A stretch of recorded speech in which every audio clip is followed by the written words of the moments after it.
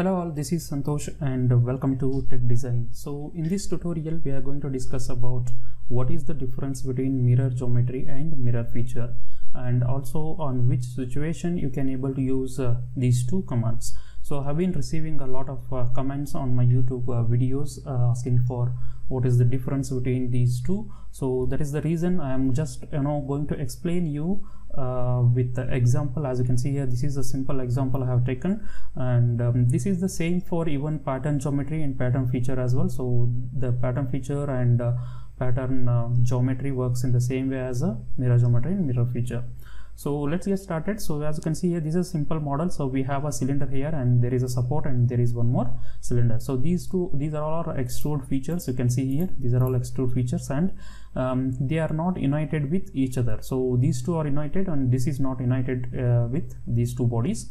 So now uh, in this case suppose suppose in your case uh, if these two geometries say for example this support and this cylinder you want these two geometries should be uh, on the right side as well. So now you can see here on the left side we have right? So if you want it on the right side as well in that case you can use mirror geometry. So the commands are existing in menu insert and associative copy. You can see here mirror geometry and uh, mirror feature and the same way pattern feature and pattern geometry. So now uh, we are going to mirror the geometry. So these two geometry or bodies i want it on the other side. So now i'm going to select this and specify the plane. So this center plane i'm going to specify and i'm just click ok. So now as you can see here uh, the whatever the geometry we have on the left side uh, it has been mirrored on the right side. So this is how the geometry works. The geometries are nothing but a body. Uh, these are should be copied from uh, you know a left side to a right side or from top top to bottom.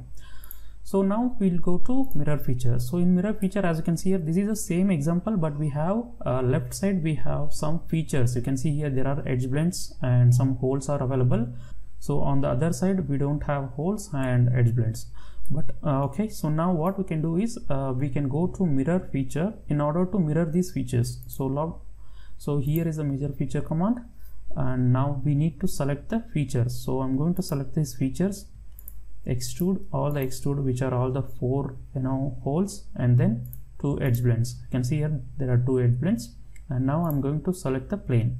So this is my plane and i'll just click ok so once you click ok you can see here all the features are being you know uh, mirrored on the other side. But here uh, the condition is say for example if this support is having an extrude of 20 mm and uh, the right side should also have a 20 mm of extrude. So suppose if it is a 30 mm then uh, the geometry uh, whatever the feature edge blend or hole whatever it is it will not be mirrored. So that is the one condition here guys. So hope you understand how and in which situation you can use mirror feature and uh, mirror geometry. So if you have doubts please comment in the section below and i'll try to answer. Thank you guys